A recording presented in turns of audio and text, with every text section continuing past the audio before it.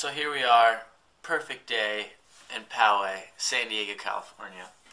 Getting ready to get our surf on. It's really early, but I think you guys are gonna enjoy this. I think we should go for it. Yeah, we should do it. Let's do it. Oh, we're gonna paddle out.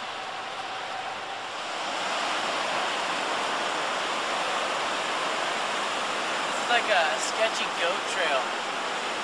It's a goat path, yeah, seriously, dude. I'm Cameron from Allstar Weekend, and you're watching me surf. Enjoy.